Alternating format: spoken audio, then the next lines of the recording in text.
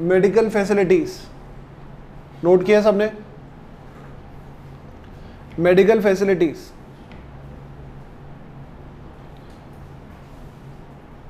Madam, पहले कभी tax पढ़ा है? बहुत ही बढ़िया। और भी अच्छी न्यूज़ बता रही हूँ।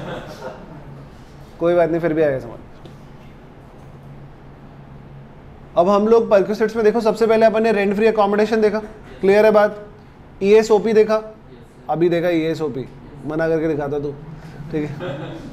उसके बाद कुछ परक्यूसेट सिर्फ़ स्पेसिफाइड एम्प्लॉयज़ को मिलते हैं। वो पाँच होते हैं। कौन कौन से होते हैं? Motor car and other conveyance facility दूसरा गैस इलेक्ट्रिसिटी वाटर चार्जेस तीसरा गार्डनर वॉचमैन ठीक है? चौथा एजुकेशन फैसिलिटी और पांचवा ट्रांसपोर्ट ये सब अपन पढ़ चुके हैं।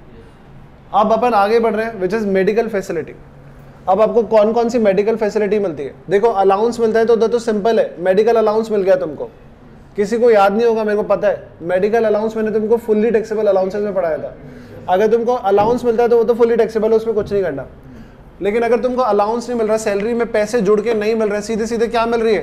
फैसिलिटी मिल रही है.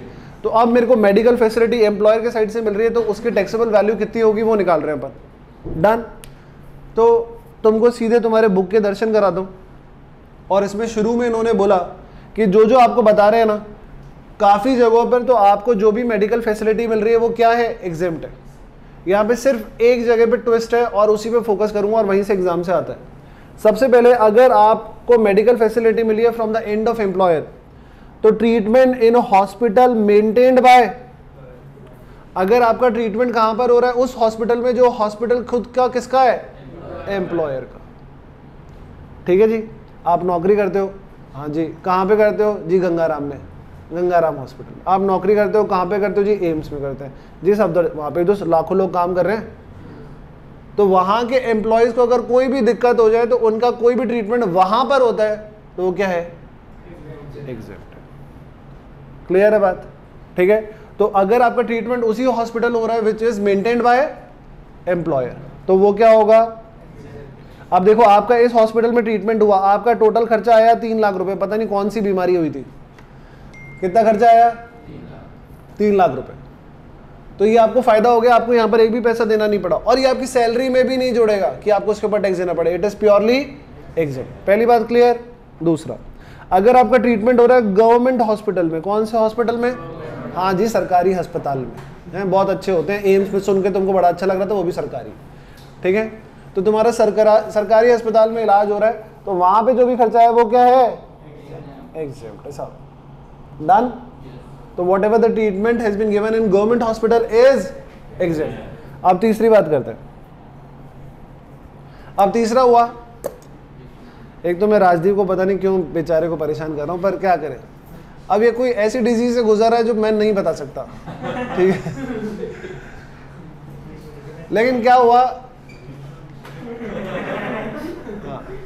तो अगर ये कह रहा है, देखो, मैं जहाँ पे काम करता हूँ, मेरे मेरे एम्प्लॉयर का कोई हॉस्पिटल तो है नहीं। ठीक है, एक। दूसरा, मैं सरकारी अस्पताल में जाऊँगा नहीं आई एम सो अमीर आदमी। दो। ठीक है? तो ये सरकारी अस्पताल में भी नहीं गया कि बोला, नहीं नहीं नहीं, मैं प्राइवेट में जाऊँगा। फिर इसने बोला कि मेरा एग्ज़ाम हो सकता है। बोला, कैसे? बोला कि principal commissioner of income tax matter income tax है ना principal commissioner of income tax ने कुछ डिज़ीज़ नोटिफाई करी है कि ये ये ये ये और ये, इन बीमारियों से अगर आप ग्रस्त हैं और इन हॉस्पिटल्स में अगर आप इन बीमारियों का इलाज कराएँगे तो जो भी इलाज का खर्चा होगा वो क्या होगा पूरा? एग्ज़ाम तो देखो क्या लिखा हुआ है। ट्रीटमेंट ऑफ़ प्रिस्क्राइब डिज़ीज़ अब मैं डिज़ीज़ के नाम लेने लगूँगा ना तो आधों के तो प्रोनाउंसिएशन अलग अलग है। पता नहीं कौन कौन सी डिज़ीज़ उन्होंने बोली है। और अपन साइंस के स्टूडेंट है भी नहीं और इच्छा भी नहीं थी कभी इसलिए कॉमर्स में है। तो अपन को पढ़ने भी नहीं है वो याद भी नहीं करने। एग्ज़ाम में भी देखा there is a certain prescribed disease तो treatment of prescribe disease in a hospital which is approved by principal commissioner और chief commissioner of income tax तो प्रिंसिपल कमिश्नर चीफ कमिश्नर ने कुछ हॉस्पिटल नॉमिनेट कर दिए कि भैया आरएमएल हॉस्पिटल हो गया एम्स हो गया मैक्स हॉस्पिटल हो गया, ये कुछ ऐसे हॉस्पिटल उन्होंने बोल दिया कि ये अप्रूव्ड हॉस्पिटल है। इनमें अगर आप इन डिसीज का इलाज कराते हो, सर, जो भी खर्चा हुआ ना, वो क्या हो जाएगा? एग्ज़ाम तो भैया तीन एग्ज़ाम हो गए। ये हटाऊं पहले, मैं तुम बोलोगे खुद ही। बोलो, कौन कौन सा? अगर आप कहाँ पे इलाज करा रहे हो? उस हॉस्पिटल में जो किसने बनाया है? एम्प्लॉय ने। आपका एम्प्लॉयर भगवान है जो उसने हॉस्पिटल बनाया हमारा तो है नहीं। तो हम कहाँ चले जाएँ? गवर्नमेंट हॉस्पिटल में। वो क्या होगा ट्रीटमेंट फ्री हो जाएगा। तीसरा, या या या तो हमें ऐसी बीमारी हो जो कि प्रिस्क्राइब्ड हो। ठीक है? कल को आपको बुखार वगैरह हो गया, बोला, अरे यार, इसका तो खर्चा हो जाएगा। है ना? तो क्या होना चाहिए? कैंसर हो। ये प्रिस्क्राइब डिज़ीज़ है। अब तुम ये सोचो उस टाइम पे कि तुमको, तुम टैक्स के स्टूडेंट हो। तुम बीमार वक्त में भी पढ़ो इसका क्या हो जाएगा, कुछ एग्ज़ाम हो जाएगा। ऐसा सोचना चाहिए तुमको। ठीक है? मेरे को कोरोना हुआ था तो मैं तो उस टाइम पे यही सोच रहा था, यार, इसका तो कोई नोटिफिकेशन भी नहीं आया अभी तक यार। तो ऐसा होता है। डन तो प्रिस्क्राइब डिज़ीज़ हो। अगर आप अप्रूव्ड हॉस्पिटल में चले गए, वहाँ पे कोई ट्रीटमेंट हुआ तो एग्ज़ाम डन पक्का रही? ओके अब आगे देखो, तीन पॉइंट समझ में आ गए ना? भाई भगवान जैसा टीचर है तुम्हारे पास, समझ में आएँगे। खुद की तारीफ़ खुद ही कर रहा हूँ। चलो, आगे बढ़ते हैं। चौथा। अब क्या होता है, तुमने क्या करा? अपना हेल्थ इंश्योरेंस करवा लिया। तुमने बोला एम्प्लॉय तेरी शक्ल में मेरे को भरोसा तो है नहीं कि तू मेरा ध्यान रखेगा। तो I am taking care of myself बोला okay take care good night ठीक है? तो आप क्या कर रहे हो? खुद का ध्यान रख रहे हो। तो आपने क्या करा? अपना हेल्थ इंश्योरेंस करवा लिया कि कल को कुछ हो गया? ऐसे तो हम फिट हैं, लेकिन क्या पता? मतलब मैं फिट हूँ, मेरे को पता है, लेकिन राजदीप को कोरोना से छींक मार दी तो मुझे हो सके तो दूसरों की वजह से मुझे हो जाए तो। तो आपको क्या है? आपने अपना हेल्थ इंश्योरेंस करवा रखा है। अब आप हेल्थ इंश्योरेंस आपने करवाया तो उसने पूछा कि आपको क्या क्या कवरेज करना है? मैंने कहा, सब कवर कर। मेरे को बुखार से लेकर कैंसर से लेकर कुछ भी हो जाए मैं हॉस्पिटल में जाऊँगा और सीधे लेट जाऊँगा एडमिट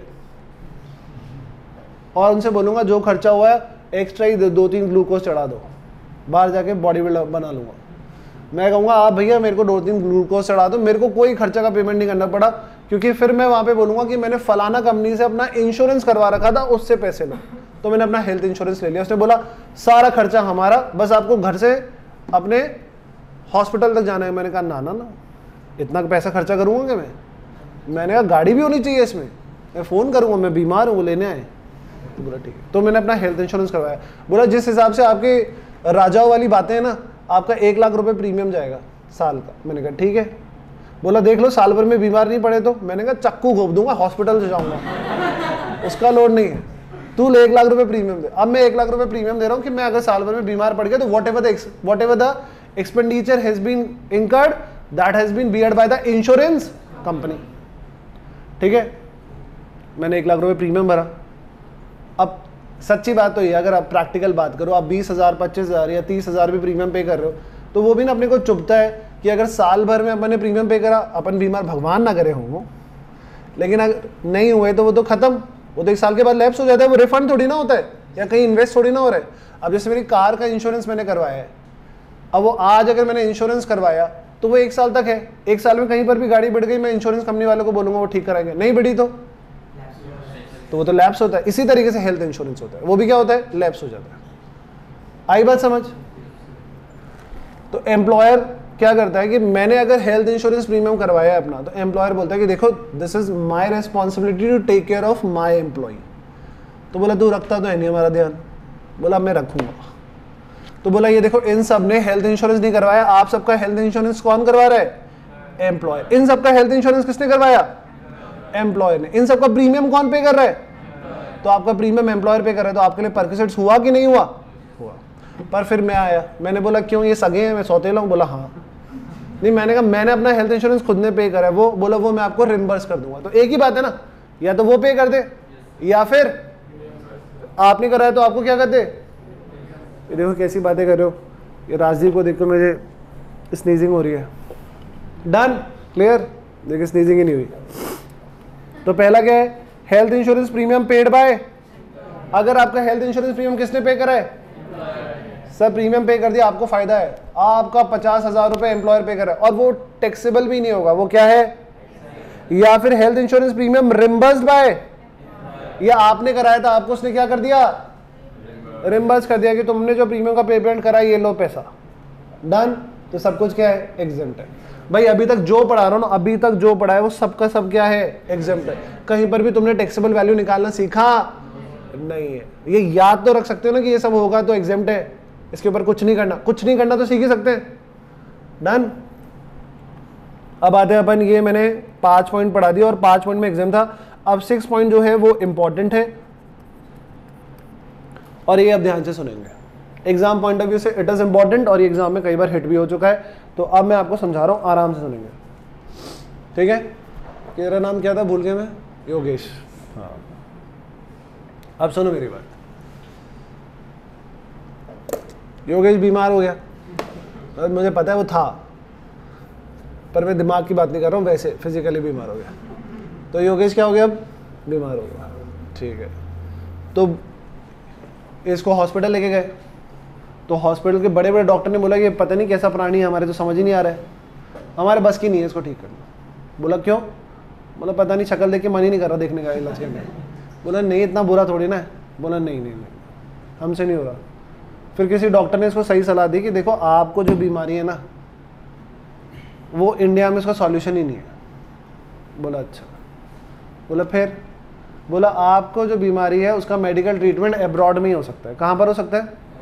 तो देर आर सर्टेन डिज़ीज़ जिस, जिसका क्योर जिसका जिसका ट्रीटमेंट कहाँ पर होता है अपना? इंडिया के बाहर। ऐसे बहुत सारे ट्रीटमेंट है। ऐसा दिल से मत ले लेना इस बात को। ऐसे बहुत सारे ट्रीटमेंट है जो इंडिया के बाहर नहीं होते। बहुत सारे लोग इंडिया में कराने आते हैं। AIIMS is very famous hospital ठीक है? तो ऐसे भी कुछ ऐसे भी कुछ ट्रीटमेंट है जिनके लिए हमें कहाँ जाना पड़ता है? इंडिया के बाहर। तो अब योगेश बोला कि मेरे को तो इंडिया के बाहर जाना पड़ेगा। बोले, कहाँ जा रहा है? बोले यूके बोला, उत्तराखंड तो इंडिया में ही है। बोला यूनाइटेड किंगडम जाना पड़ेगा। वहाँ पर इसका ट्रीटमेंट है।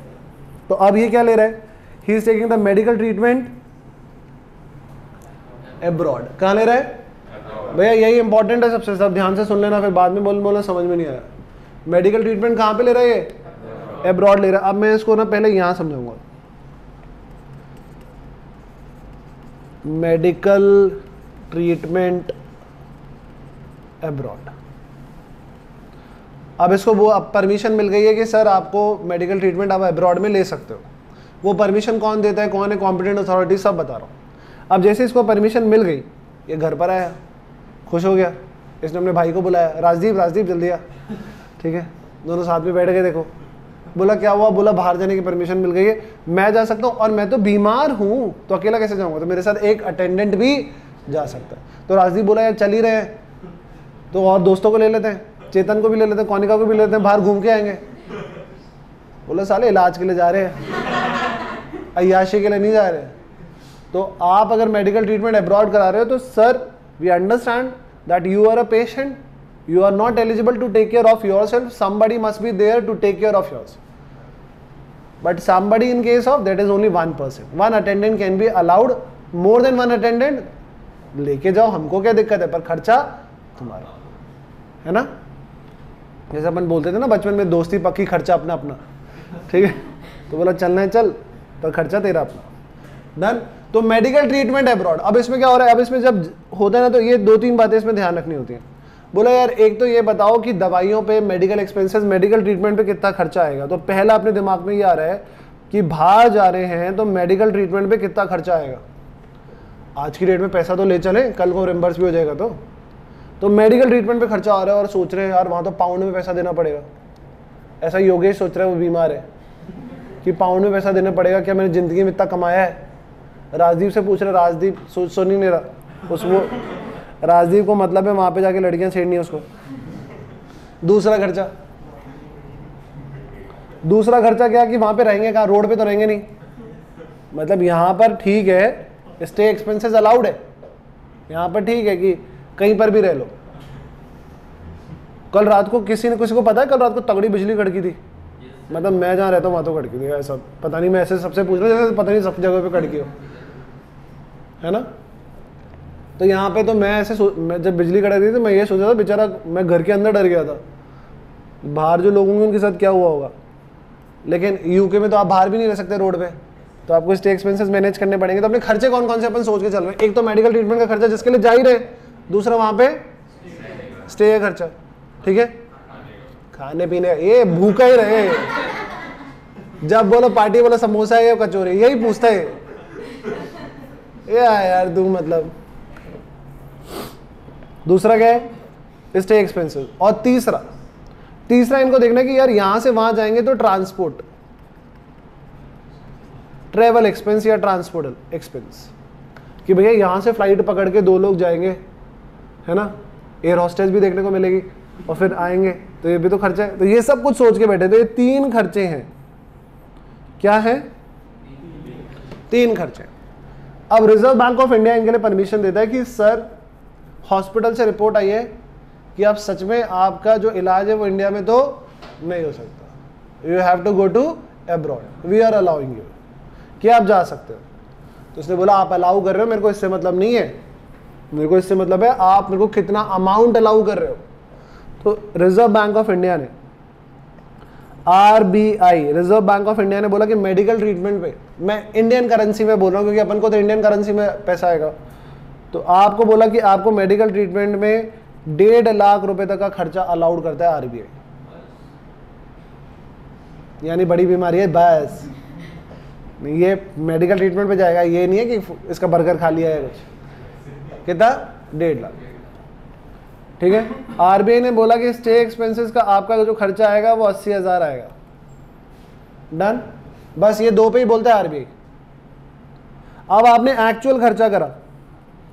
मेडिकल पे आपका खर्चा आया एक लाख सत्तर हज़ार रुपये चलो ठीक है इंडियन करेंसी में। एक तो इतना मिल गया डेढ़ लाख तो मिल गया तो टैक्सेबल कितना हो जाएगा? क्लियर है बात? और यहाँ पर स्टे एक्सपेंसेस में ये लोग राजाओं की तरह रहे। इस पर खर्चा कर दिया इन्होंने डेढ़ लाख। मिला कितना था? अस्सी हज़ार। तो सत्तर हज़ार क्या हो गया? तो क्या समझ में आ रहा है कि जितना आरबीआई अलाउड करेगा उतना खर्चा या उससे कम खर्चा करोगे तो, तो पूरा एग्ज़ाम हो गया। ठीक है? क्या बोल रहा हूँ? जितना आरबीआई बोल रहा है, उतना करोगे, उससे कम करोगे तो पूरा अलाउड हो जाएगा। उससे ज़्यादा करोगे तो वो क्या हो जाएगा? पर यहाँ पर एक और प्रॉब्लम है। अब आती है बात ट्रांसपोर्ट एक्सपेंस की। तो बार बार बार बार ना रिज़र्व बैंक ऑफ़ इंडिया के गेट पे जाके नीचे योगेश बैठ जाता है। बोला, क्यों बैठा है? क्या क्या काम है? जाता क्यों नहीं है तू? बोला, ये बताओ ट्रांसपोर्ट अलाउंस का क्या है? बोला, मेरे को टिकट करानी है टिकट करानी है। अब ये बार बार वहाँ पे मेक माई ट्रिप करके खोला हुआ है। कराऊँ कराऊँ। दे रहे पैसे। तो बोला कि सुन अगर तू अतः गरीब है तो, तो हम दे देंगे। If you can afford it तो हम नहीं देंगे। बोला मैं अतः गरीब हूँ। बोला कैसे बता? बोला आपकी गरीब की डेफिनेशन क्या है? हमने बोला कि अगर आपकी जो ग्रॉस टोटल इनकम है वो up to rupees two lakh है। कितनी? दो लाख रुपए तक है। तो हम मानेंगे कि यू आर गरीब। तो हम आपको जो आपका ट्रांसपोर्ट अलाउंस होगा ना, वो पूरा का पूरा दे देंगे। यहाँ से यूके जाने का और यूके से इंडिया आने का। हम दे देंगे। लेकिन अगर आपकी इनकम दो लाख रुपए से ज़्यादा है तो अगर आपका मानो ट्रांसपोर्ट अलाउंस पे खर्चा हुआ है एक लाख रुपए का तो ये पूरा का पूरा आपको बियर करना पड़ेगा। इट इज़ एंटायरली टैक्सेबल आ रही है बात, समझ के नहीं आ रही। तो इसने बोला कि मेरी इनकम मेरी इनकम मात्र डेढ़ लाख रुपए है। आई एम अतः गरीब। हमें पता था तू ऐसा आएगा। तो हमने कहा, सुन, ये तो तेरी डेढ़ लाख रुपए है ना, हम पहले ये डेढ़ लाख लेंगे। और इसके अलावा अगर जो तेरे को मेडिकल ट्रीटमेंट और स्टे एक्सपेंसेस में से कोई अमाउंट टैक्सेबल वैल्यू निकला है तो वो भी जोड़ेंगे। बोलो मेडिकल ट्रीटमेंट में से कुछ निकला है क्या? बोलो, कितना निकला है? बोलो। ओके यहाँ से कलर बदलेंगे। ये बीस हज़ार रुपये निकला है। और इधर सत्तर हज़ार, बोला, ये भी जोड़ेंगे हम इसमें। प्लस बीस हज़ार प्लस सत्तर हज़ार। आप टोटल कितना हो गया? टू लैख फोर्टी थाउज़ेंड दो लाख से ज़्यादा हो गया। आपको ट्रेवलिंग अलाउंस मिलेगा फुल्ली टैक्सेबल होगा। क्या होगा? अगर दो लाख से कम होता है तो पूरा का पूरा एग्जेम्प्ट हो जाता। तो अगर आपकी इनकम दो लाख तक है इंक्लूडिंग मेडिकल एक्सपेंस और स्टे एक्सपेंस का एक्चुअल वैल्यू जोड़ते हुए, ये वाला वैल्यू टैक्सेबल वैल्यू जोड़ते हुए, दो लाख से ज़्यादा है तो तो आपकी ट्रेवलिंग एक्सपेंस क्या होगी? फुल्ली टैक्सेबल होगी। दो लाख तक है तो क्या हो जाएगी? एग्जेप्ट हो जाएगी। बात समझ में आ रही है? पक्का? मैडम, खुशी मैडम, खुशी हो, खुशी मिली कुछ? हाँ खुशी मैडम बस। बच्चा खुश टीचर खुश। ये बात समझ में नहीं आई तुमको तो मैं क्या करूँ? क्वेश्चन कराऊँगा।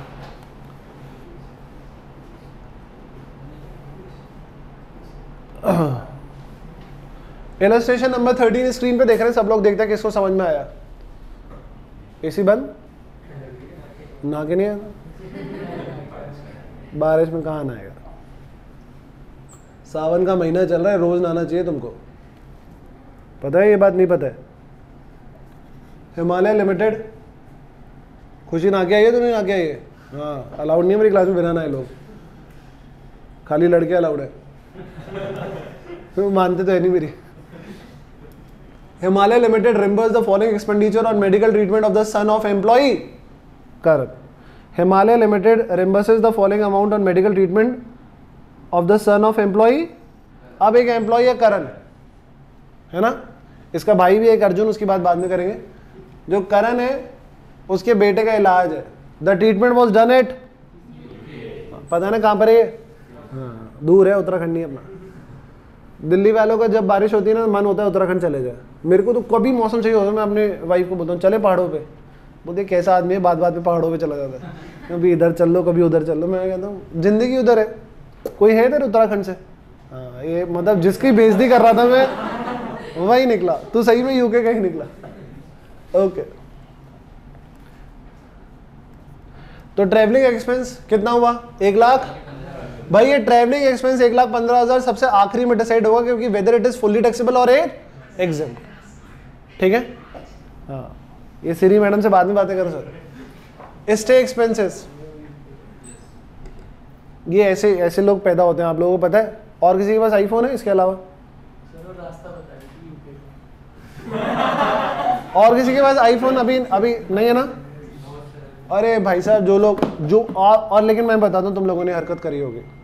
जिनके पास आईफोन है वो सीरी के साथ खेलते हैं है ना? तो ऐसे सीरी के साथ Siri play a song for me Siri I love you Siri मतलब पता नहीं मैं इस उसको क्या क्या ऑर्डर देता हूँ फिर ये ये मेरे को सौ गालियाँ देती है कि तू लायक नहीं है तू एमआई का फ़ोन ले ले ये पता नहीं क्या है ना? और एक अपना वो आता है आ, कौन सा आता है यार अपने पास? अरे बहुत सुनाती है वो औरत यार एलेक्सा और ये एलेक्सा बहुत सुनाती है यार। एलेक्सा एलेक्सा को अभी आपने ऑर्डर वगैरह दिए खेला नहीं है तुमने ये सब? मतलब आधी ज़िंदगी तुम ऐसे गुमान में जीता कैसे लोगे हो तुम? हाँ एलेक्सा के साथ खेलो, ज़िंदगी अलग ही चल रही है उसके साथ तो। एलेक्सा तो साफ़ बोलती है, ये बदतमीज आदमी। चलो, अभी कह आगे बढ़ते हैं। टोटल एक्सपेंस कितना हुआ? एक लाख पंद्रह हज़ार। It will be decided at the later stage ठीक है? कि तुम गरीब हो या नहीं। दूसरा stay expenses at UK permitted by the RBI तुमने कितना खर्चा कर दिया? तुमसे जितना दिया जाता है, उससे ज़्यादा रहने की आदत पड़ गई तुमको चादर से बाहर पैर फंसाने की आदत है।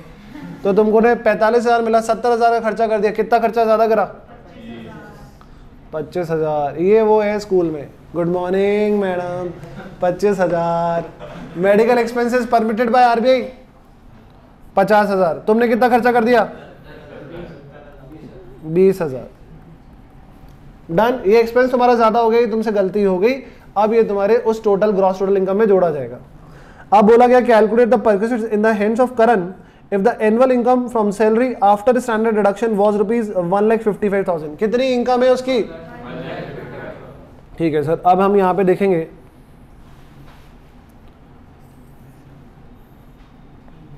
करण की एनुअल इनकम फ्रॉम सैलरी है। कितनी है बोलो? वन लैख फिफ्टी था फिफ्टी फाइव थाउज़ेंड प्लस इसमें क्या जोड़ा अपन ने? स्टे एक्सपेंसेस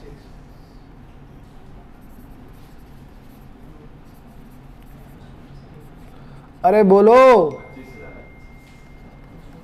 प्लस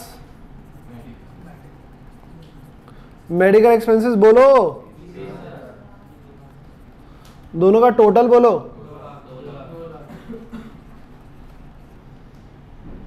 अभी इसमें प्लस कर रहा हूँ मैं। ट्रैवलिंग एक्सपेंसेस इसको जोड़ने से पहले टोटल कितना आ रहा है? दो लाख। दो लाख से ज़्यादा आ रहा है क्या? नहीं। तो ये ट्रैवलिंग एक्सपेंस पूरा का पूरा क्या होगा? क्लियर है बात?